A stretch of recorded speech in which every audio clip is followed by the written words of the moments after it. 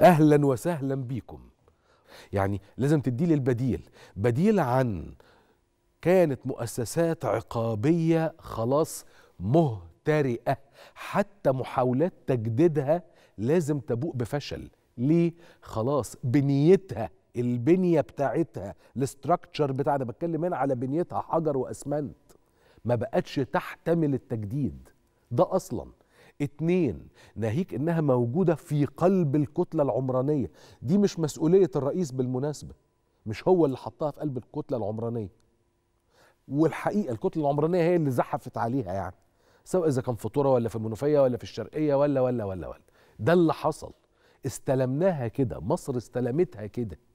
استلمتها قديمة بعض هذه السجون عمره أكتر من 100 سنة استلمناها وحواليها زحف عمراني كثيف حتى أمنيا. خطر على الناس اللي ساكنة وغلط على السجناء اللي موجودين دول. سهل يهربوا يعني كده. آه بيتعمل الحراسة المشددة وما إلى ذلك بس بالمنطق هو في سجن وسط كتل عمرانية طيب اتنين المراكز بقى لأنه دي كانت زمان اسمها كده اسمها السجون. طيب هي دلوقتي اسمها مراكز وبالمناسبة اسمها مراكز للتأهيل والإصلاح مش لمجرد المسمى يعني مش لمجرد إن إحنا عجبتنا الجملة أو يلا بينا نغير المصطلح فكده لا المسألة مش كده خالص. المسألة إن هي أنت لازم تبص على الأمور بمنتهى العمق. أول حاجة لازم تتنقل بعيد عن الكتل السكانية. فلازم تبني مكان جديد. عظيم. طيب المكان الجديد ليه فلسفة. الفلسفه دي قالها الريس في هذا البرنامج على التليفون قبل افتتاح سجن وادي النطرون أو قبل بالأدق بقى هنا افتتاح مركز التأهيل بتاع وادي النطرون. والكلام ده قاله الرئيس النهارده وهو في أكاديمية الشرطة. إن اللي ارتكب خطأ أو جريمة مش آخر الدنيا يعني ومش هنعاقبه مرتين. مرة يعاقب على ما فعله وهو تقييد الحرية بس كمان ما ينفعش أقعده في مكان غير مؤهل وغير آدمي وغير إنساني. وعلشان دي مش آخر الدنيا لازم أأهله لحياته اللي جاية بعد ما يقضي الفترة بتاعته جوه هذا المركز. وبالتالي هذا المركز يؤهله للإندماج في المجتمع. أقول مرة كمان يؤهله للاندماج داخل المجتمع. لهذا فيه الإصلاح. أنا بصلح نفس هذا الرجل أو هذه السيدة. دول مواطنين مصريين. جزء من واجبي ودوري كدولة إن أنا أصلح من نفسه وأحطه على الطريق الصحيح واساعده طب هساعده إزاي؟ بس بالرعايه الاجتماعية أو النفسية داخل المركز؟ لا ده أنا لازم أساعده إنه يعرف يشتغل. فاللي ما كانش يعرف له صنعة بنعلمه جوه. والله ده بيصلح موبايلات ده بيرسم ده بيصنع حاجة ده بيشتغل غزلة نسيج نول آه نقاشة نجارة حدادة إلخ إلخ إلخ. وليس من سمع كمن رأى. أنا كان حظي كويس ان أنا رحت ثلاث مراكز رحت وادي النطرون رحت بدر رحت امبارح العاشر من رمضان. كويس؟ كلهم معمولين على نفس ذات النسق باختلاف المساحات بقى. دي قصة تانية. لكن نفس ذات النسق أو بالأدق هي نفس الفلسفة. ده بخلاف إنها مراكز بالأساس سستينبل زي ما بيتقال. يعني هي بتصرف على نفسها طول الوقت. اولا هي فيها مزارع المواشي والدواجن والخضار والفاكهة والصوب. الخ الخ الخ الخ الأراضي دي بتعود إلى الدولة مرة تانية. الأراضي بتاعت السجون القديمة تعود إلى الدولة. الدولة بقى تتصرف فيها. دي جوه مناطق سكنية تستثمر. فعمليا المراكز دي مش بس واقفه عليا ببلاش. لا. هتلاقي من وراها فائض كمان. بس برضه مش دي القصة. فلسفة الدولة مش ببلاش ولا فائض. مش دي القصة.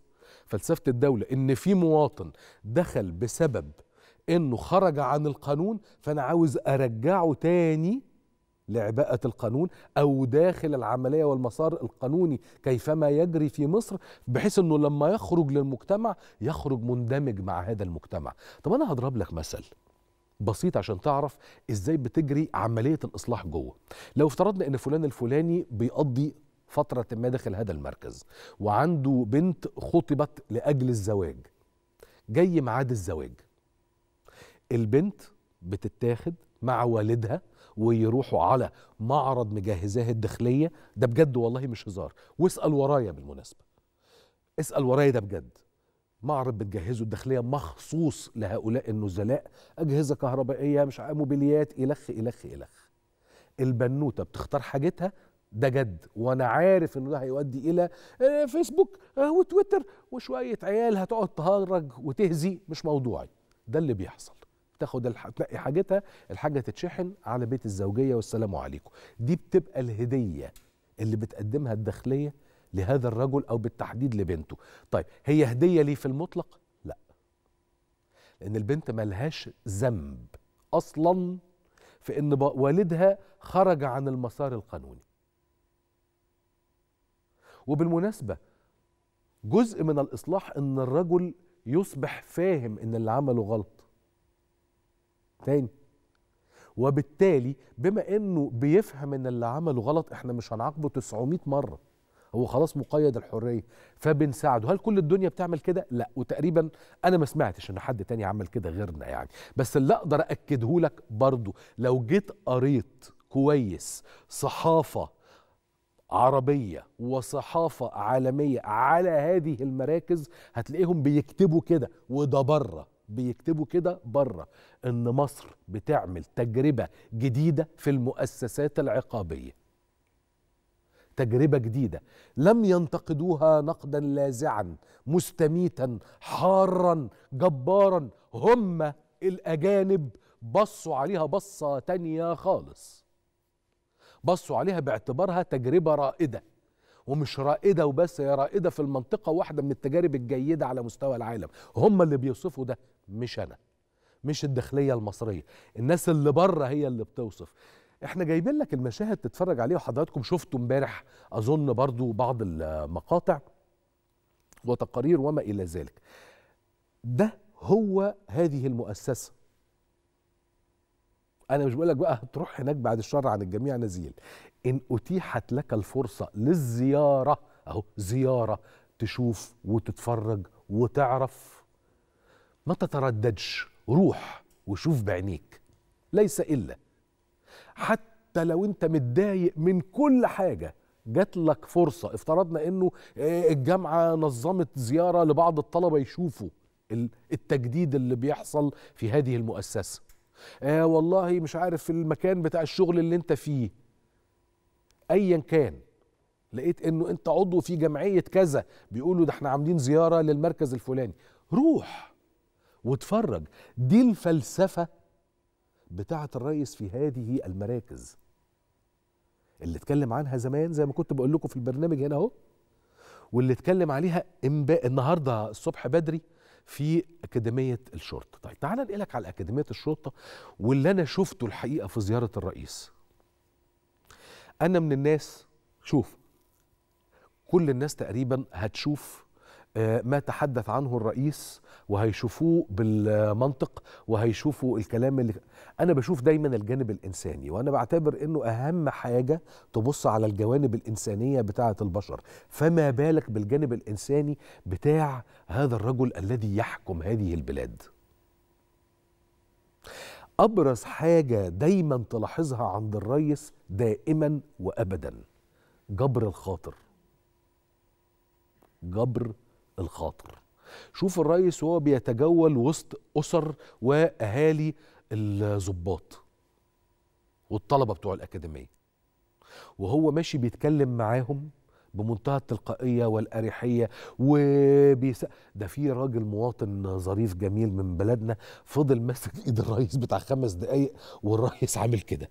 والراجل ماسك في إيد الرئيس ده جبر خاطر ده جبر خواطر دي تركيبة هذا الرجل. شوف كلامه مع أمنا اللي كانت قاعدة وبعدين حد من أهليتها بيقول لها خلاص قالوا سيبها براحتها خالص. طيب شوف الناس وهي بتتكلم وتقول له ربنا يفتح عليك قضيت على المحسوبية في البلد ربنا يخليك إحنا ما كناش نحلم إن ولادنا يخشوا الكلية إحنا ما كناش كذا. إلخ إلخ إلخ. كلام الناس دول دول طبقة متوسطة زي حالاتي وحالاتك. دول مش أغنياء البلد. دول زينا موظفين وناس طيبين. وأمل حياتهم إن ولادهم يخش يطلع ضابط شرطة يطلع ضابط في الجيش. فكلامهم هو الانعكاس والمرآة الحقيقية لهذا الوطن.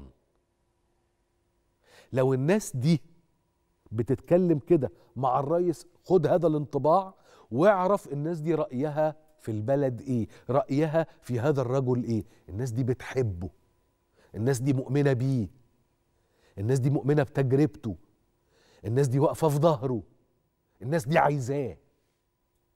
من يتحدثون عن إنه الطبقة المتوسطة دائما هي الكتلة الحرجة. صح.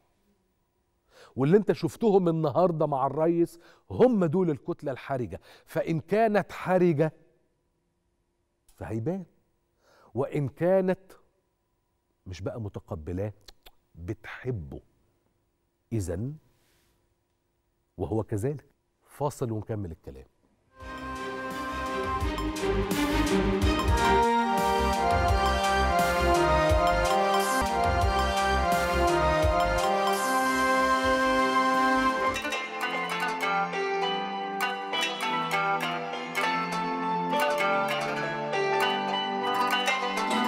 يأتي رمضان.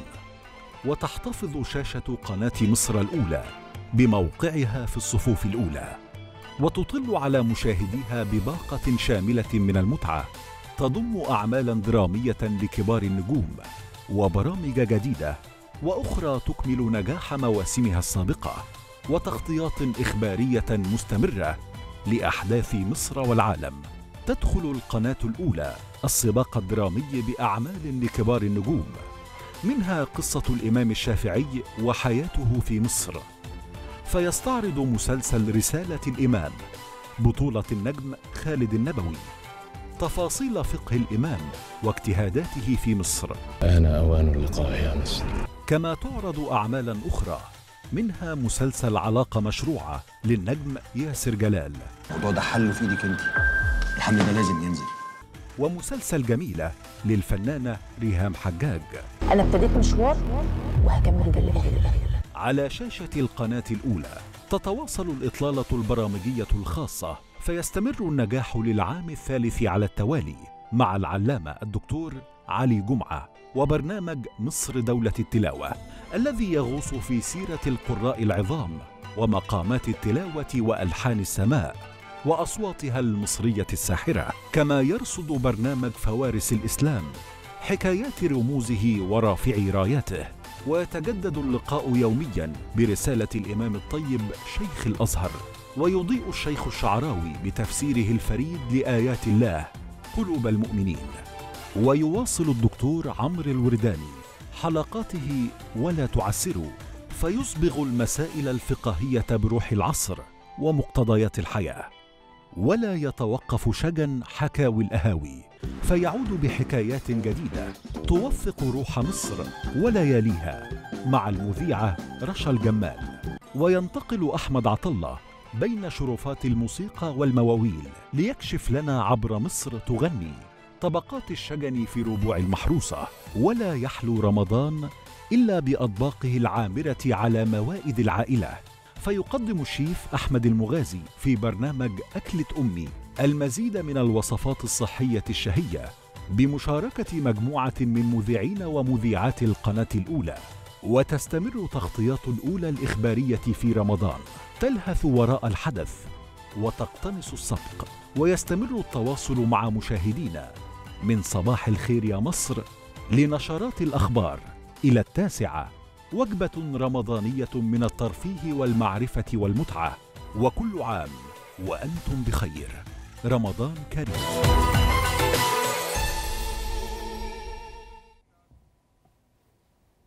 كل ده بقى عندي أنا. شفت إحنا جابوا الترابيزة بتاعتي الكرسي فاضي؟ دلوقتي الكرسي مليان. كله عندي. المهم تعالوا بقى نروح للقناة الأولى. يمكن زي ما حضراتكم آه، سمعتوا كده آه، وهو بيديلنا آه، ملخص عام عن الأولى مقدمة لنا. إيه أنا عجبني جدا بالمناسبة إن إحنا عندنا واحد اتنين تلات أجيال في برامج دينية وتفسير. يعني هتلاقي مولانا الشيخ الشعراوي وبعدين هتلاقي مولانا الدكتور علي جمعة وبعدين هتلاقي الجيل بقى يسلم جيل وبعدين الجيل بقى بتاع دكتور عمرو الورداني. دكتور عمرو الورداني جيلي بقى.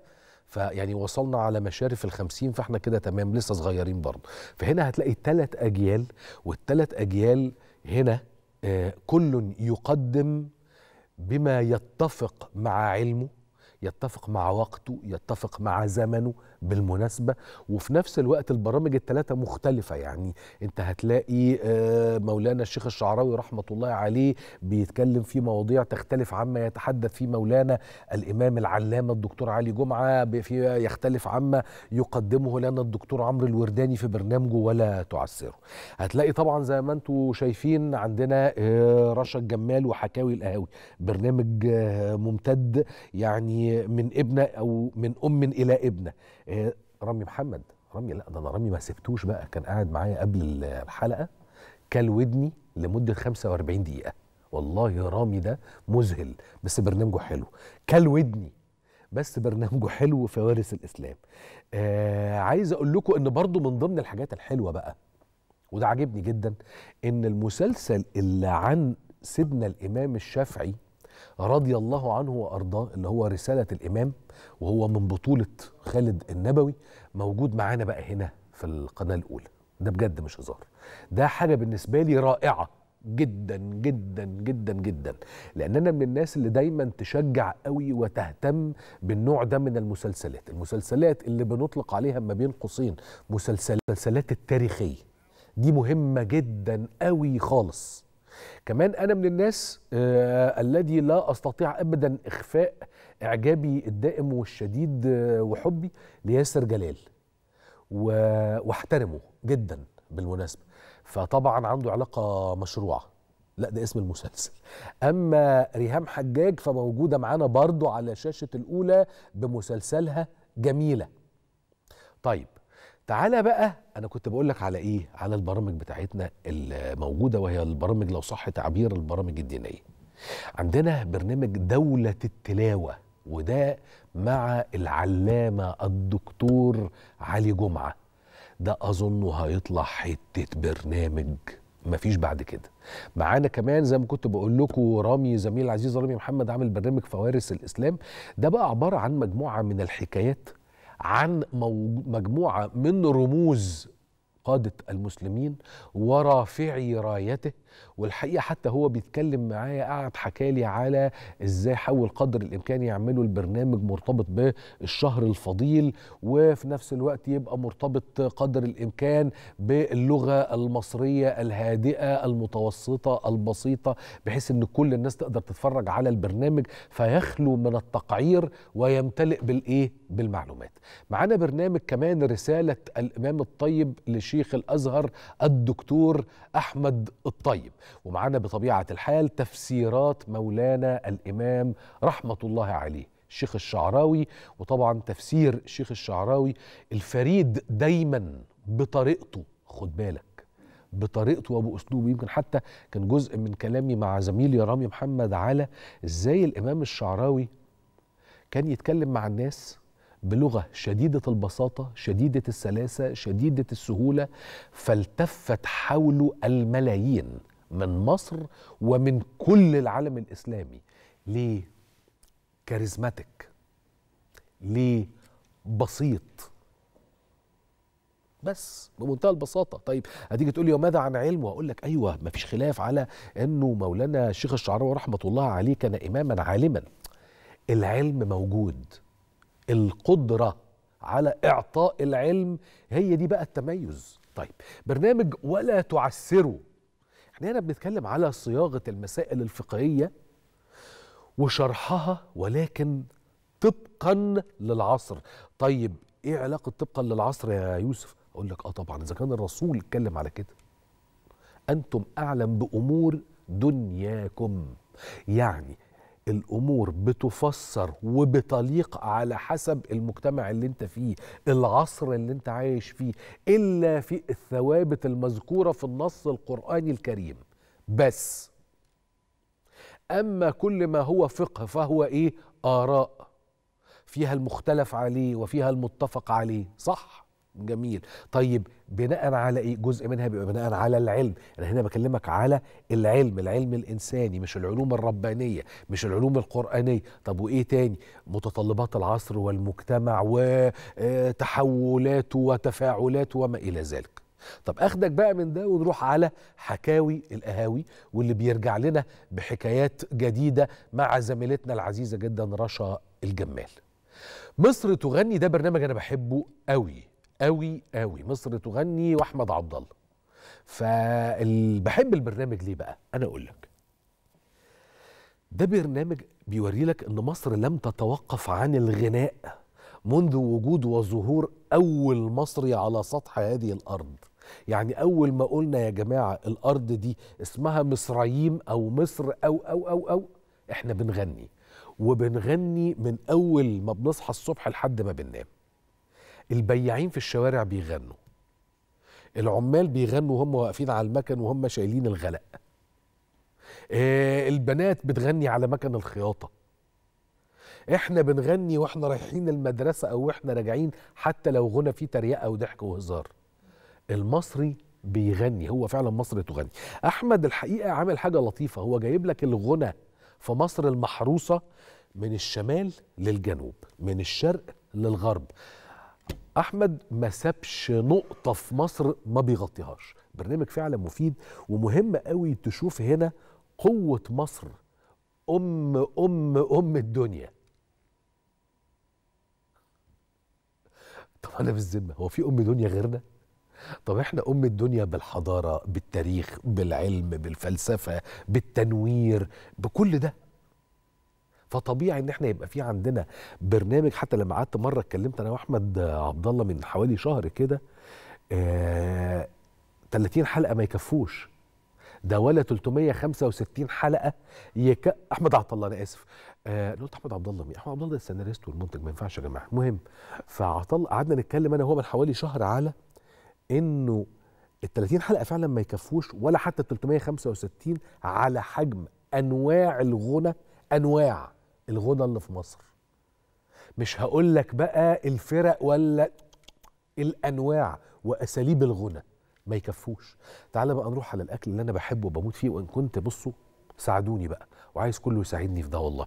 بالنصح والإرشاد تاره وبإنه محدش يغريني بالأكل تاره أخرى. أنا واخد قرار وحاطط لنفسي تارجت في رمضان. أخس 10 كيلو. هعمل إيه؟ معرفش بس هخس ما بحبش الحلويات يا عمرو عمرو بيقول لي كنافة ما بحبش الحلويات. عمر ما كانت مشكلتي حلويات ابدا. أنا مشكلتي الكميات. أنزل كده أخلص لك ترابيزة زي دي. بس في سني ده بقيت يا دوب أخلص نصها. أنا بقى عايز أخلص يا دوب على الربع كفاية. آه والله. أكلة أمي للشيف أحمد المغازي وبمشاركة مجموعة من المذيعين والمذيعات في القناة الأولى المصرية. أما صباح الخير يا مصر فيفضل دايما موجود معانا وده طبيعي وما يليه بقى من تغطيات إخبارية وحتى البرنامج الأفضل الأجمل الأكبر الأشهر الأوسع جماهيرية الأعلى مشاهدة. شوف التواضع اللي أنا فيها يا ملاح. آه والله العظيم. شوف أنا ما أحبش أقول غير الحقيقة. طب بالمناسبة بقى البرنامج ده فعلا غالبا يعني أنا ما عنديش إحصاء آه، مكتوب يعني يقول كده بس غالبا يعني هو ده أكتر برنامج بيشوفه المصريين. آه والله العظيم. ده إحساسي أو انطباعي مش إحساس انطباع. يعني باخده لما بشوف الناس في الشارع طب ناس مين بقى؟ هتقولي ناس مين؟ أقول لك بسطاء هذا المجتمع. أهالينا. أنا راجل بجد يعني أحب قعدة الأرصفة وقعدة الدكة قدام العمارات وحاجات زي كده والرغي مع الناس اللي واقفة في الكشك وكلام من ده. فأنا بنبسط جدا مش إن هم عرفوني لأ. أنا بنبسط إن هم بيتفرجوا على البرنامج وبيقعدوا يتناقشوا فيه وأنت قلت كذا ويختلفوا معايا ويتفقوا معايا. المهم إنه والله بكلمك بجد. فإحنا موجودين معاكم من صباحية ربنا صباح الخير يا مصر تغطيات برامج التاسعة.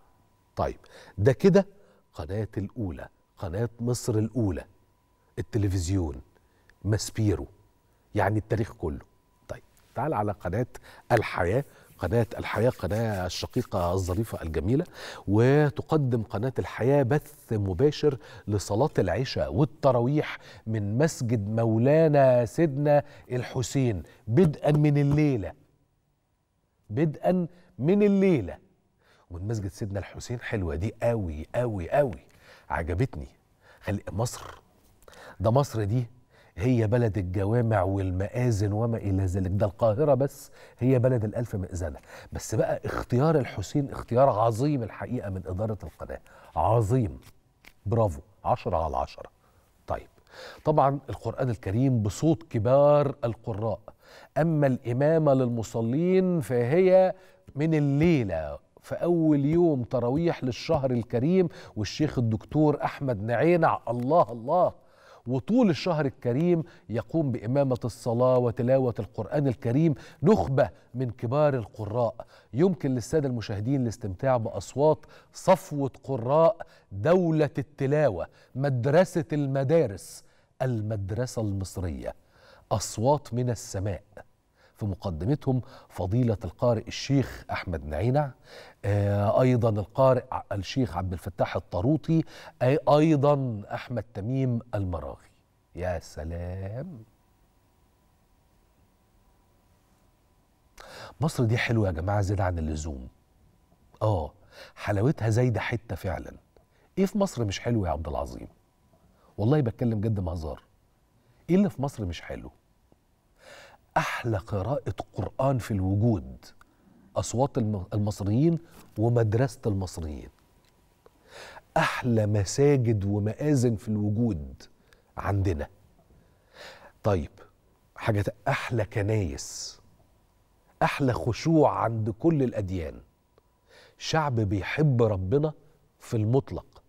في ضراء قبل السراء وأثناء السراء يكثر من الدعاء. الابتهال بيرفع ايديه بيصلي حتى وهو مش محتاج. انت البلد اللي بتروح للاولياء صوفي وقبطي سواء إذا كنت مسلم ولا مسيح يعني تلاقي مسلمين كده في مولد ستنا العذراء. ومسيحيين كده عند سيدنا عبد الرحيم القناوي بتحصل فين دي؟ آه والله بتكلم بجد. فين؟ غير هنا. طيب قول لي فين تلاقي جامع لزق في معبد فرعوني يعني أنا بتكلم على الجامع والمقام والضريح بتاع سيدنا أبو الحجاج الأقصري. جامع لزق في المعبد المصري القديم لزق في دير قديم وكنيسة. لزق. أزيدك من الشعر بيت. لما كان سيدي أبو الحجاج الأقصري نفسه لسه عايش وبيدي الدروس بتاعته عارف كان بيديها فين؟ بيديها في الساحة بتاعة الدير عشان كان لسه الساحة بتاعة الضريح اللي بعد كده بقى ضريح. المكان اللي كان بيدي فيه الدروس لسه ما كانش جاهز.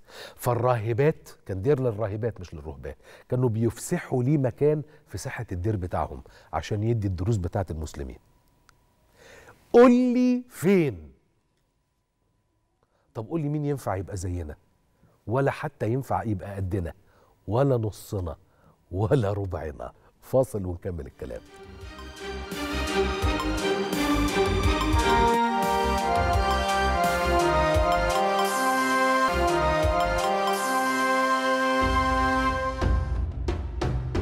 بين سرديات وتراجم التاريخ خلدت ذاكرة العصور الإسلامية سير فرسان بلغوا رسالة الدعوة وحملوا راية الإسلام إلى مشارق الأرض ومغاربها. كان يقاتل بين يدي رسول الله صلى الله عليه وسلم. قائد من فوارس الإسلام. دفع أغلى مهر في التاريخ. النبي صلى الله عليه وسلم قال لصوته خير من فئة. نقطة تحول في مسيرة الجهاد الإسلامي. مش مجرد إن هو هيفتح علشان يستولي على المكان ولكن لكي ينشر الإسلام. صوب العبودية لله كان سببا في النصر. في سجل الفوارس الفاتحين. فوارس الإسلام مع رامي محمد. يوميا. الثالثة وخمس دقائق عصرا. أهلا بيكم معانا مرة تانية. برنامج فوارس الإسلام وخلي يعني ناخد معانا زميلنا العزيز على التليفون رامي محمد. إزيك يا رامي؟ أستاذ يوسف الغالي والعزيز كل سنة وحضرتك طيب وكل مشاهديك بخير. حبيبي يا رامي ربنا يخليك يا رب وأنت طيب. كلمني عن فوارس الإسلام كده بإيجاز يا رامي. أنا لسه قايل أنت مسكتني 45 دقيقة قبل الهوا. فأنت ليك في ذمتي دلوقتي دقيقة ونص دقيقتين تلخص وريني مهارتك في التلخيص. تمام. هو آه، فوارس الإسلام برنامج بيتناول خلال أيام شهر رمضان فارس أو قائد وموقعها عبر التاريخ الإسلامي وأغلب المواقع دي مرتبطة بشهر رمضان الكريم كتب فيها النصر والفتح على المسلمين خلال شهر رمضان. حلو في أكثر من فقرة في فقرة عن الأسباب والدوافع خوض المسلمين ال- أو المسلمون هذه الموقعة والأسباب مش بتبقى للحرب يعني الإسلام لم يدخل المواقع دي لمجرد الحرب أو الفتح لكن ليها أسباب منها إرسال الرسل والكتب وأيضا محاولات الصلح الكثيرة والحرب بتبقى الخيار الأخير. في صحيح كمان بنجيب بعض المواقف والمشاهد للفرسان والقادة سواء في الخطط والعبقرية العسكرية والفروسية الكبيرة أو كمان المواقف الإنسانية. يعني من وصايا ال- الإسلام والنبي دائما لا تقطعوا شجرة لا تقتلوا شيخا لا تقتلوا امرأة لا تقتلوا طفلا. ففي وصايا مرتبطة حتى بالحروب وأخلاق الحرب في الإسلام. وبنتكلم في الآخر على النتائج. هل النتائج دي ان خروج العلماء فيما بعد دخول الإسلام لهذه المدن وهذه الفتوحات؟ خرج من البلاد دي علماء مسلمين خرج منها نوابغ كمان نشر الدين في البلاد دي بشكل واسع ودخول الك- الكثير من أهل البلاد دي في الإسلام. بنطرح كمان مجموعة كبيرة جدا من المواقع اللي مرتبطة بالشهر الكريم وكمان فيها مواقف إنسانية واجتماعية وأبرز الفرسان طبعا في عصور مختلفة. بنتكلم عن العصر النبوي كمان عصر الخلفاء الراشدين وبننتقل بين العصور حتى كمان العصر المملوكي والأيوبي. وبنتناول بعض المواقع اللي بيبقى فيها محاكاة أو قرب من الحالة يعني العصر المملوكي والايوبي رحنا صورنا في قلعه صلاح الدين والقلاع والقصور الملكية صورنا في عصر الخلفاء والعهد النبوي في فربطت ما بين المكان والحدوتة نفسها أو الفارس. بشكل كبير طيب جدا وكمان دايما يا رامي في في البرامج اللي من النوع ده بيبقى في حد بيثير إعجابك الشديد وأنت بتشتغل أكتر فارس من هؤلاء الفوارس. علق في دماغك مين؟ أنا هقول لك على حاجة ودي يمكن أنا لما بشتغل على ال- الموضوع بتاع الفوارس أو كمان ال- الشخصيات التاريخيه أنا بوصل لمرحله ان أنا ببقى على قناعه كبيره وممكن انام احلم بيهم كمان يعني طب حلو فانا كان دايما الزبير بن العوام كان الله. يعني عالق في في ذهني بشكل كبير جدا خاصة كمان دوره في فتح مصر طبعا وفي فتح حصن بابليون وكمان بابليون. لما عمرو بن العاص أرسل للخليفة الفاروق عمر بن الخطاب بيطلب منه الإمدادات فأرسل له 4000 فارس وقال له أرسل لك 4000 فارس على رأس كل 1000 فارس ب 1000 كان منهم المقداد بن الأسود والزبير بن العوام فهو فارس فدول. علقوا معاك آه، جدا طيب جدا بص بقى إحنا منتظرين البرنامج كل يوم الساعة 3 و5 قبل الفطار صح كده؟ صحيح هنتفرج على البرنامج وبعدين طبعا كده كده أنا وأنت هنتقابل كتير في شهر رمضان المبارك فبقى هقعد أقول لك رايي أول بأول قدر الاستطاعة لكن ما شاء الله واضح إن هو برنامج جميل واظنه برنامج مفيد جدا لينا كلنا. كل الشكر ليك زميلي العزيز رامي محمد. آه طيب تعالوا بقى نروح على إيه؟ ناخد برنامج إيه عندنا إيه؟ مصر دولة التلاوة. ده مولانا الدكتور علي جمعة الإمام العلامة وزميلي وصديقي العزيز عمرو خليل أظن عمرو عمرو معانا على التليفون ولا لسه؟ طب تعالوا نشوف البرومو قبل ما ناخد معانا عمرو على التليفون. والضحى والليل سجى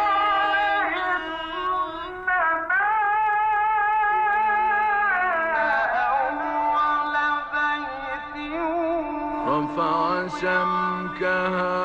فسواها.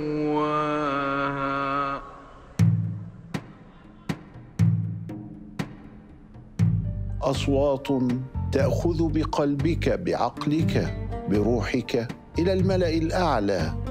أصوات لها حلاوة وعليها طلاوة. كأننا نستمع ونرى قرآنا يمشي على الأرض. رجال أكرموا كتاب الله سبحانه وتعالى فأكرمهم وأعلى من شأنهم وذكرهم. يبدأ في البيات أعوذ بالله من الشيطان الرجيم. أعلام القراء في مصر دولة التلاوة.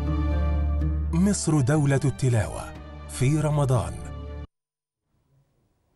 طيب إحنا معانا بقى على التليفون زميلي يا صديقي العزيز عمرو خليل. إزيك يا عمور؟ كل سنة وأنت طيب ورمضان كريم.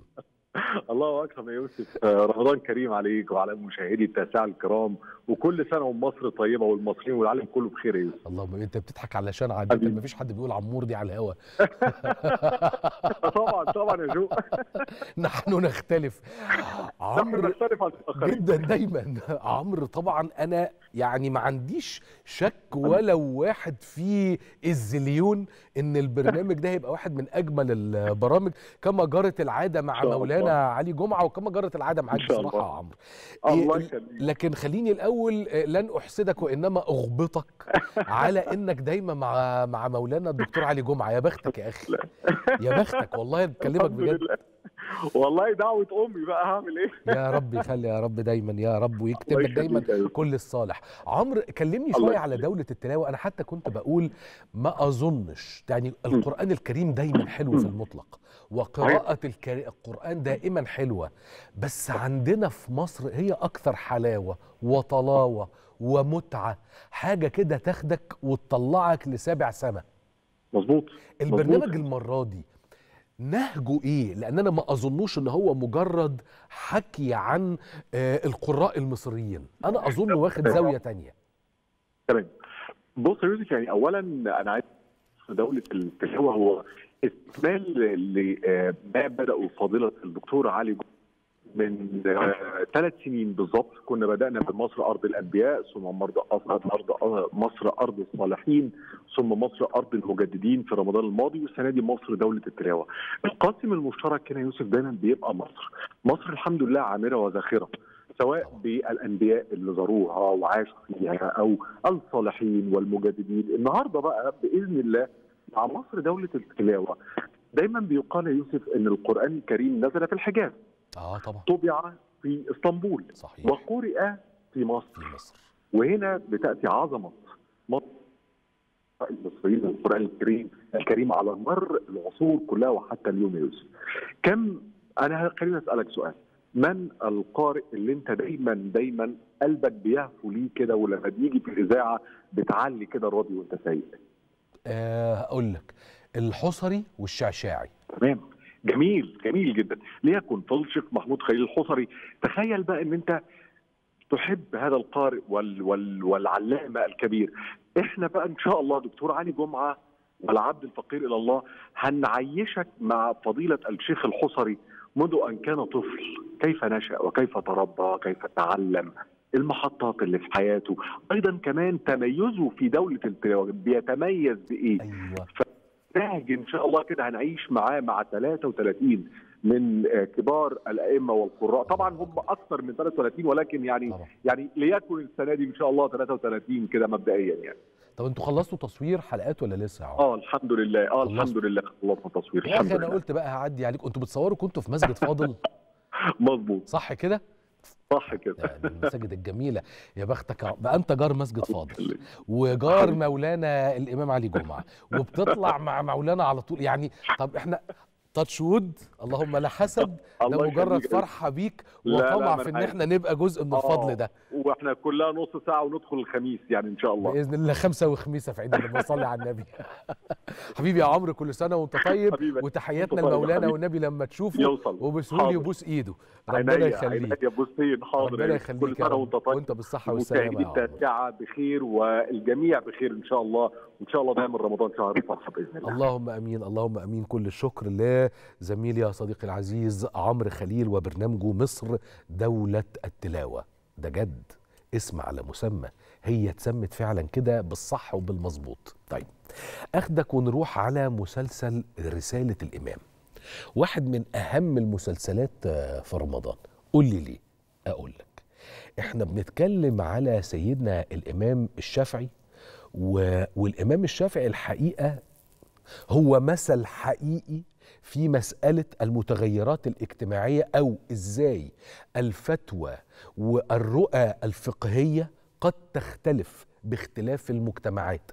فأنت هتشوف الإمام الشافعي مثلا كيف كان يتحدث عندما كان في العراق وكيف كانت آراؤه. طيب ولما جالنا مصر كيف تحدث وكيف كانت آراؤه. وده من أهم الحاجات اللي في فقه الإمام الشافعي وأظن ده هتلاقيه واضح جدا في رسالة الإمام عن مولانا الإمام الشافعي رضي الله عنه وأرضاه. عايزكم تشوفوا معايا البرومو وبعدين نرجع نكمل الكلام.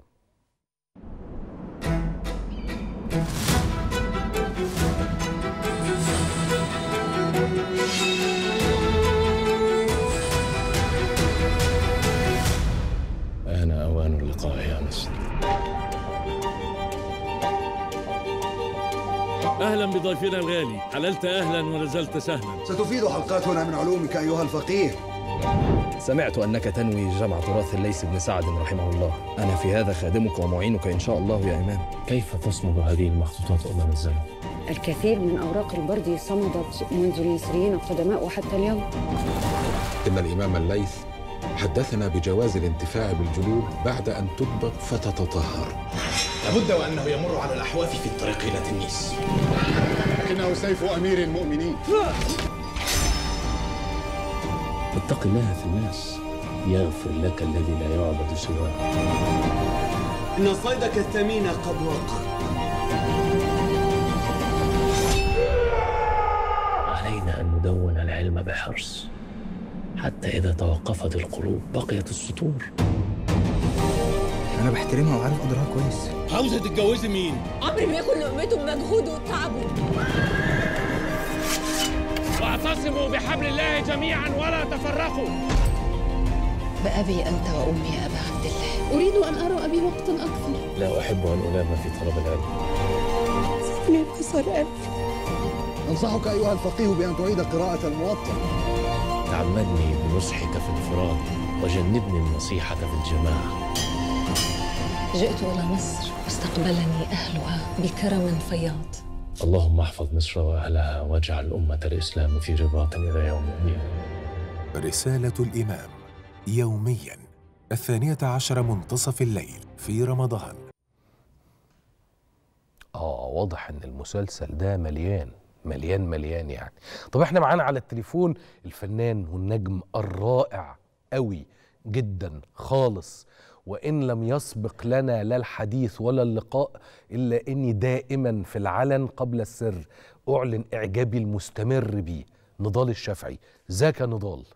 يا أهلا وسهلا. يا أهلا وسهلا يا, يا أهلا. يا أهلا يا اخل يا وسهلا اخل اخل شرف؟ كبير كبير لا أنا اللي أتشرف ما تقولش كده اطلاقا. والله إن إحنا نتقابل وإن شاء الله نتقابل على خير وجها. لوجه. بإذن الله. شرف كبير إن أكون مع اعلامي باذن الله. ده أنا اللي أتشرف. وعظيم زي لا حضرتك خالص خالص. ما يعني تدينيش أكبر. أكبر مما أستحق. ربنا يخليك. ربنا يخليك. أشكرك كل سنة وأنت طيب الأول على رمضان. وأتمنى يعني إن شاء الله إن رمضان الخير يجي علينا جميعا بالخير كلنا بإذن الله مصر كلها والأمة العربية كلها آمين يا رب يجعله رمضان كريم علينا جميعا. نضال آه آه، أنت بتجسد شخصية مين؟ لأنه يبدو أنها شخصية شديدة البأس. مين الشخصية؟ أنا يا دوب بلقط كده من البرومو. فخفت بصراحة. الله يخليك والله. يعني أنا بقوم بأحد القادة في هذا الزمن زمن الإمام الشافعي لما جه إلى مصر هو عبد العزيز الجروي. والجروي هو كان ساعتها هو رئيس الشرطة ورئيس العسس ورئيس دار الصك وهو كان آه، يعني في في فترة الإمام الشافعي اللي جه فيها مصر كان في كم من الصراعات لضعف الدولة العباسية طبعا. وعدم قدرتها على السيطرة على الأمصار بتاعتها يعني كان في ملاحم ما بين. العباسيين والأمويين أيوة. حواديت يعني بالظبط بالظبط فكان في صراع كبير جدا جدا تاريخي في الفترة دي آه الجروي آه يعني كان من أحد أقطاب الصراع ده يعني آه آه.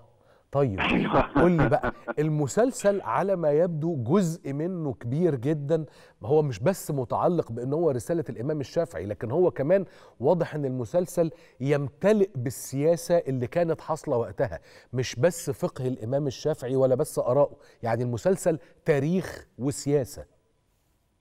بص أقول لحضرتك حاجة. أنا اللي أقدر أقوله إنه مسلسل الإمام الشافعي هو عود أحمد للدراما التاريخية التي تتناسب وتليق مع المقامات الآتية، مقام الإمام الشافعي هذه القامة الكبيرة الدينية ومقام مصر آه، آه، الفني العظيم والتاريخي الكبير وفي نفس الوقت آه، آه، هي فكرة إنه مصر كان بقالها سنين كبيرة جدا ما قدمتش عمل تاريخي آه، كبير. فالإمام الشافعي قبل أن يكون إحنا بنقدم عمل ديني فإحنا بنقدم عمل تاريخي يؤرخ لهذه الفترة على مستويات كتيرة جدا على المستوى العربي على المستوى المصري الداخلي على مستوى العلاقات اللي موجودة على مستوى شكل الدين وشكل التحديث للرؤى الدينية اللي كانت موجودة في الفترة دي وإزاي قدر الإمام الشافعي إنه آه، يخلق آه، فكر متزن ويقدر آه، يقدم وجهة نظر حقيقية وصحيحة للدين الإسلامي في فترة كانت شائكة جدا جدا على المستوى الاقتصادي والسياسي وعلى مستويات كثيرة جدا. والله على ما يبدو كمان انه واضح أنه في مصر كانت آنذاك أرض النضال يا سيد نضال. الله يخليك ودي واضحة واضح في المسلسل يعني. على كل أنا أتمنى لك كل التوفيق دايما وحقيقي أتمنى إن أنتوا خلصتوا حلقات ولا لسه؟ إحنا بنصور حاليا يعني إحنا دلوقتي في في قمة الشغل في خلية النحل اللي قايمه واسمح لي إن أنا من خلال حضرتك أوجه كامل الشكر والتقدير لمن أشار لنا آه، بخطوة البداية إن إحنا نعمل هذا العمل العظيم وهي رسالة الإمام آه، سواء من آه، يعني العين الساهرة على علينا وعلى مصر وعلى الفن آه، من أكبر حد وهو سيادة الرئيس آه، واهتمامه بهذا العمل واهتمامه بانه يقدم أعمال فنية حقيقية تمثل قوة مصر الناعمة ال- القوية جدا. فكل الشكر لسيادة الرئيس عبد الفتاح السيسي. الشكر لشركة الإنتاج آه، آه، المتحدة الشركة المتحدة وشركة هاب ميديا. بصراحة آه، قدموا كل القدرات الحقيقية المصرية القوية لتقديم عمل قوي. زي ما قلت قبل كده يتناسب مع قيمة مصر الحقيقية والفنية. والقوى الناعمة ال- ال- الأصيلة المصرية يعني. فهو شكر واجب إن أنا أقدمه من خلال حضرتك طبعا وبشكر وبقدم يعني بقول إنه خالد النبوي بصراحة هو النجم نجم يستحق بجد إنه يحمل هذه الرسالة ويقدمها. شكر طبعا للاستاذ ليث حج ومحمد هشام بن عبيه آه، المؤلف وأستاذ ليث حج المخرج. بصراحة يعني أيمن صقر المخرج المنفذ بصراحة عامل ملحمة برضو. اسمح لي يعني من خلال حضرتك أقدم له كل التهاني وكل العاملين آه، في العمل بصراحة آه، مقدمين بصراحة في منظومة وخلية نحل مهتمة بكل تفاصيل هذا العمل من إكسسوار طريقة شكل طريقة تاريخية مصحح آه، تاريخي مصحح على مستوى الشكل آه، الناس اللي بتمشي في الحواري المصرية من 200 سنة هجرية كان شكلها عامل إزاي؟ آه، الحروب شكلها ادق أدق التفاصيل والله يا أستاذ يوسف. يعني في حالة اهتمام شديد بيها جدا كم من المخططات والخرائط الكبيرة جدا لأدق التفاصيل عشان نعرف نقدمها للناس بحيث إن إحنا نقدم هذه الرسالة وهي رسالة الإمام رسالة مصرية فنية تاريخية خالصة نتمنى إنها تكون عند حسن ظن الناس بإذن الله. مما لا شك فيه كل التوفيق ليكم جميعا وأنا أضم صوتي لصوتك في هذا الشكر. أشكرك جدا جدا جدا يا نضال. كل الشكر لفناننا نجمنا الرائع الحقيقة نضال الشافعي على ما يبدو. لا هو واضح بصراحة مش على ما يبدو إنه ده مسلسل بإذن الله يليق باسم مصر. وبقى خلوني مرة أحكي لكم على مش بقى نضال الشافعي على آه، النضال بتاع الإمام الشافعي في القضاء ولأجل إعلاء كلمة الحق. خلونا نروح لفاصل وبعد الفاصل نرجع بقى مع إيه؟ مع مولانا النقشبندي. بس أكيد مش بنفسه رحمة الله عليه وأسكنه فسيح جناته. احفاده اللي شايلين إرث الابتهال والذكر والإنشاد. ذكريات الجد الكبير مع العيلة. والابتهالات الدينية الشهيرة ليه بصوت الأحفاد. استنونا.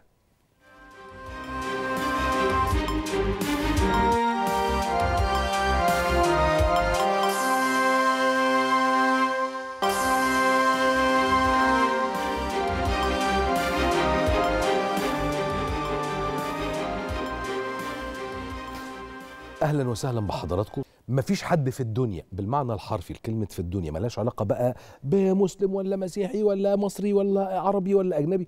ما بيحبش الشيخ النقشبندي وما استمتعش بصوته. و... ولازم تبقى عارف إنه مولانا النقشبندي كان رجلا عالميا بالمعنى الكامل. يعني هو لف الدنيا واتسمع في الدنيا. المثل المصري يقول اللي خلف ما ماتش واللي ليه أحفاد بقى ما ماتش برضه كمان يعني. فإحنا معانا أحفاد مولانا الشيخ النقشبندي أحمد ممدوح إبراهيم النقشبندي أهلا وسهلا. إزاي الصحة؟ حبيبي يا أستاذ. إيه الأحوال كله الحمد تمام؟ لله والله تمام. وأكرم ممدوح إبراهيم النقشبندي منورنا. حبيبي يا أستاذ. إزيك يا أكرم؟ ربنا عاملين إيه؟ يخليك. الحمد إيه لله. الأخبار؟ والله زي الفل. أنا كنت أقول على مولانا الشيخ النقشبندي وده الحقيقة مش أنا اللي بقوله هو التاريخ اللي بيقول كده نعم. إنه صوت عالمي. ولف الدنيا والكل بيعرف عربي ما بيعرفش عربي انبسطوا وسقفوا. دي حقيقة. و... واستمتعوا. قوي وده من ضمن الغرائب. الناس حبته ليه؟ تعال نبدأ الأول بأبو حميد ونروح لأكرم. تمام. أول حاجة كده عشان بسطته في التعبير وفي المعنى وفي الإحساس الجميل. ما كانش عنده تكلف نهائي في في أي حاجة كان بيقولها. كان بيقول كل جمله من قلبه ما كانش عنده رولز ما كانش عنده التزام بأي هو كل حاجة كانت طالعة من قلبه ومن إحساسه. فبالتالي ال- ال- البني آدم اللي بيطلع كل حاجة من قلبه بتوصل لل- للجمهور طبعا. بتوصل بتمس القلب. فبالتالي هو فضل معلم مع الناس إلى أن تقوم الساعة. لأن هو فعلا كل كلمة كان بيقولها كانت نابعة من قلبه. حلو. لا كان بيلتزم بلحن ولا كان بي يعني هو كان آه، حاجة كده إلهية ربانية كده نازلة. سبحان من- الله آه سبحانك يا رب. سبحان الله. وفعلا يعني إحنا كلنا لما بنيجي لما بسمع بسمع له أي حاجة لغاية دلوقتي والله يا أستاذ يوسف. فعلا بي يعني جسمي بيقشعر كده بحس إن هي كانك فعلاً بتسمع دي لأول. مرة يا أستاذ يوسف. دي حقيقة. صح. والله. أنا بعتقد إن ده فتوح رباني كده يعني كان مولانا هو اللي بيضع القاعدة. بالظبط. مش فعلا. توضع له القاعدة. بالظبط. صحيح بالظبط. صحيح صحيح. بالظبط. صحيح.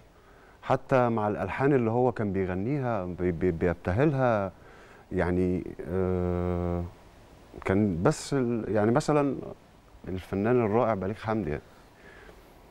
فإزاي الأستاذ بليغ حط اللحن للشيخ سيد والشيخ وساب له المسافة حرية الحرية كلها اللي هو يا مولانا عيش. أنت عارف إن مولانا كان مستغرب لما قالوا له انت هتقول على الحان بليغ حمدي فأصل أنا عارف القصة دي كويس أوه. وكانت متسجلة هنا في هذا المبنى العظيم تمام. يعني فقال لهم فعلا، يعني فعلا. إزاي طيب يعني أنا هقول على الحان بليغ حمدي برضه أيوه، ما. ينفعش فبليغ حمدي الله يرحمه قال له بص يا مولانا أنا هخليك تقول على لحن لا قبله ولا, ولا بعده بعده. فعلا. ولو ما عجبكش هنمسح تمام فمولانا بدأ يقول وعجبه اللحن زي ما تقول كده ونخشش في دماغه. خلاص. وخرج أثنى على بليغ وشد على يده. فعلا. والأعمال كتير ما بينهم. طبعا. ما هو خلاص بقى. وعشان كده وعشان كده اللحن ده طلع. فضل فضل عايش لغايه لغاية الساعة اللي إحنا الأستاذ فيها بليغ. قال له أنا اعمل لك لحن يعيش آه آه له العمر أنا كله. هعمل لك لحن هيعيش العمر. كله بعدي وبعدك. بالظبط. وهتشوف. فعلا. وفعلا. فعلا. وفعلا وبالمناسبة دي مش بس عبقرية بليغ ده عبقرية مولانا طبعا. اللي آمن بالفكرة الله يفتح عليك. طبعا. وخاض المخاطرة. تمام. يعني بليغ حمدي بيقول ألحان للمغنيين العاديين حب ومش عارف إيه وكلام من ده. طيب يعني هتيجي إزاي؟ وبعدين مولانا ده مولاه يقدر يقول لأ. آه آه. عادي جدا. بالظبط. طب عادي جدا. نجرب. طب بقول لكم إيه، ما تيجوا نجرب الأول نسمع بقى. يعني إحنا مش. هنقعد. نتكلم بس إحنا عايزين نسمع. ب... عشان أستاذ بليغ كمان نقول نسمع مولاي. نسمع مولاي الأول؟ مولاي؟ مولاي, مولاي. يلا بينا مولاي. نسمع مولاي.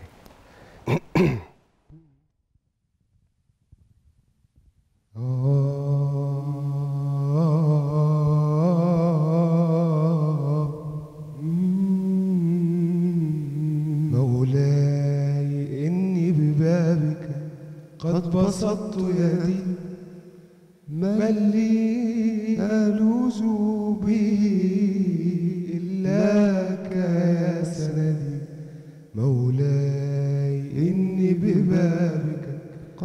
vasat tu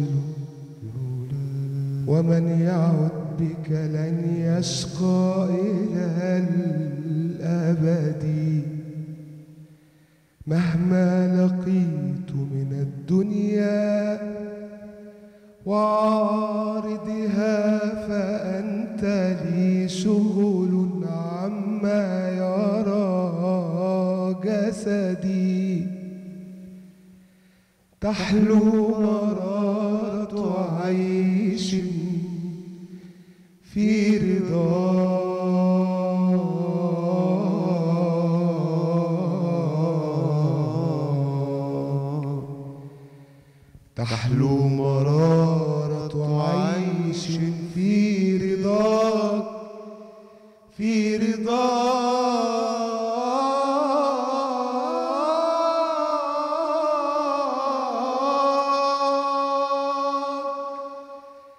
تحلو مرارة عيش في رضاك. وما أطيق سخط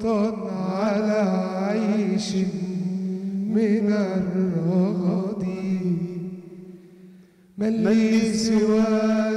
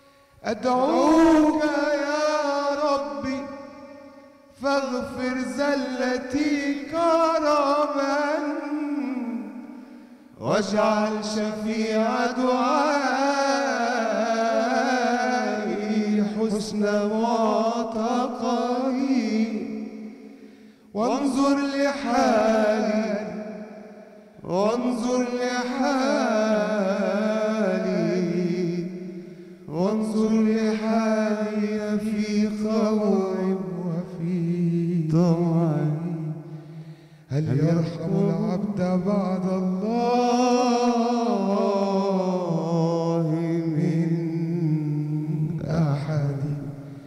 مولاي إني ببابك قد بسطت يدي. من لي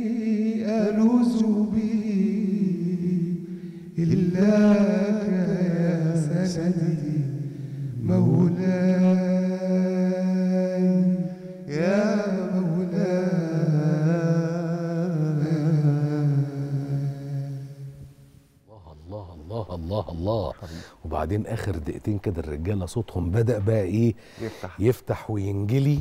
أيوة. وبدأوا يخشوا في الحالة. لا إحنا نطلع فاصل ونرجع بقى إيه؟ أصل أنا بخلي بالك في الحاجات دي أنا طماع. هنسمع بقى واحد واحد.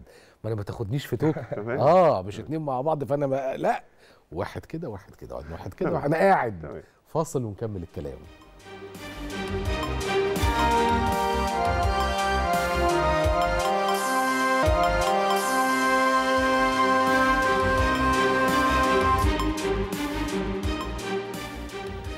لو كنا بنتكلم على الذكريات لما بقعد كده ببقى قاعد كده ليه عادة يعني. فكان ليا زميل في مكان ما ما يقعدش غير كده بس. المهم سيبكم من الكلام ده خليني أرحب مرة تانية بأكرم وأحمد النقشبندي منورنا وهنا بقى هسأل آه أنتوا خدتوا السكة وخدتوا الطريق ده عشان مولانا الشيخ النقشبندي ولا في شيء ما هو اللي دفعكم قد تكون مصادفة ما؟ بدأت إزاي يعني؟ بص بدأت من من وإحنا مثلا من وأنا عندي خمس سنين يمكن انت كام يمكن- سنه دلوقتي يا أبو حميد أنا 36 طب حلوين ما شاء الله عقبال ما. يبقوا 360 آمين آه ربنا يديك الصحة والعافيه ربنا يكرمك يا رب فهي بدأت يمكن من وأنا صغير خالص بابا الله يرحمه اكتشف. الموهبه فيا أنا وأكرم آه. وهو عايز أقول لحضرتك إن ثلاث أرباع العيلة بي- صوتهم حلو أصلا شاء يعني الله. يمكن ما شاء الله، ما شاء آه، الله. آه دي حقيقة ولو مش صوته حلو ودنه حلوة ودنه. جدا وسميع آه. جدا ده مين فيكم الاكبر أكرم أنا أكرم 40 أكرم سنه 40. 40 برضه صغنطه يا أكرم آه، ربنا. عقبال ما ربنا 400 يخليك. ربنا يخليك. فبابا بابا الله يرحمه اكتشف إن إحنا صوتنا فينا موهبة يعني آه. وطبعا كان أبويا برضو كان بي- بيغني الله وعمي الله يرحمه كان الله، بيغني الله. وخالي فالموضوع كان ما كانش غريب بالنسبة له إن إحنا نطلع صوتنا حلو العيلة ما شاء الله مليانة آه، ما شاء الله. الله مليانة. كلها بقول لك. كلها الله حتى. ال ال النساء فيهم اللي ما بتغنيش الله. مثلا. تلاقي ما. آه فكان حلم حياته إن إحنا نكمل أو إن إحنا يشوفنا مبتهلين أو منشدين فبدأ ينمي فينا القصة دي. بدأ يعلمنا مقامات موسيقية بدأ يجيب لنا آلات موسيقية في البيت. آه ثم توفاه الله وإحنا وأنا في 98 فما لحقش يحقق الحلم. طبعا كل واحد فينا دراسته كانت مختلفة. أنا أنا خريج إعلام تربوي فكانت دراستي مختلفة تماما عن مجال الموسيقى أو مجال الإنشاد الديني. أنت زميل. آه ربنا يخليك ده شرف ليا لا يا أخي ما تقولش العفو العفو. وبعدين كمان أنا مجال شغلي مختلف تماما بقى خالص عن الدراسة وعن الموهبة. يعني أنا بشتغل executive sous chef okay. آه، في في مطعم آه، توكا بوكا restaurant آه، يعني ملوش أي علاقة بالموسيقى ولكن أنا بعتبر الموضوع ده برضو موهبة يعني. أنا أصلها فن برضه. أصل جدا. الاكل ده ده هو كمان. شاطر قوي جدا يعني. هنروح وندوق. ده أنت الله. تنور الدنيا الله بنور. والله العظيم بجد. أنا الحقيقة أنا اعتبرت. برضو الموضوع ده آه، حلم برضو بالنسبة لي إن أنا أبقى شيف شاطر أو إن أنا وهي موهبة زي ما حضرتك قلت. طبعا. فالموضوع المزيكا بقى جه معايا إيه؟ إن أنا ده حلم أنا نفسي أحققه. زي ال- زي ما يكون كده إيه هدف في دماغي أنا حاطه تارجت في دماغي لأن إحنا فعلا عندنا محتوى. آه عاملين زي أنا واكرم كده عاملين زي باند صغير. جميل. آه بنعمل فيه مزيكا دينية. واختصرنا كلمة نقشبندي النقش بند. للنقش نقش بند. بند. آه. آه. هايل. آه. آه. وده حلم بالنسبة لنا بقالنا كتير جدا بنسعى فيه وإن شاء الله مش هن إن شاء الله. مش هن مش هنبطل. نسعى الله. إن شاء الله بإذن الله. وعاملين زي فكرة كده محتوى جديد نفسنا الناس تسمعه. ان إحنا آه، عاملين ابتهالات الشيخ سيد النقشبندي بس بتوزيع توزيعات جديدة. الله أيوة. ينور عليك. بتوزيع جديد تقدر تشغله في عربيتك تقدر تشغله في في كل حتة تقدر تسمعه في كل حتة بس برؤية مختلفة لينا إحنا بمزيكة بمزيكتنا إحنا بتوزيعنا إحنا آه، ولكن الأساس موجود الأساس هو هو.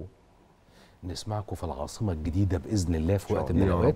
وبعد ما نروح العاصمة نروح بقى باريس ونروح لندن ونروح. برلين ونروح. نيويورك شاء الله. نملى الدنيا لأن يعني إحنا زي المزيكا اللي في دماغنا فعلا زي ما قال أحمد آه، جميع أنواع الموسيقى اللي حضرتك ممكن تتخيلها إحنا الحمد لله عندنا الملكة اللي إحنا نقدر نركب عليها كلمات ون... ونقولها ما تصدقش يعني الحمد لله رب العالمين يعني أنا وأحمد لما بنقعد مع بعض أقول له طب ما تيجي نقول كذا على على مقام كذا على تراك كذا أو عاملين شغل تركي؟ عاملين شغل شرقي آه، عاملين شغل آه، هندي عاملين تاخد وقت بس. يعني عندنا حب وشغف للموسيقى غير عادي. يمكن آه، الحياة بعدتنا شوية إن إحنا نكمل ونخوض ولكن آه، بنرجع برضو نقعد مع بعض طبعا لازم. ونكمل. بالظبط.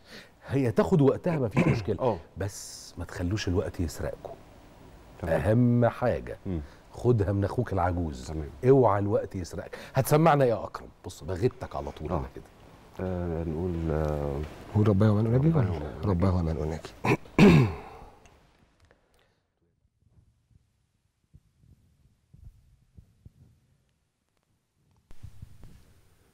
رباه رباه رباه رباه.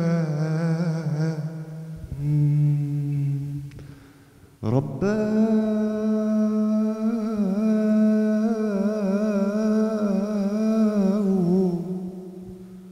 رباه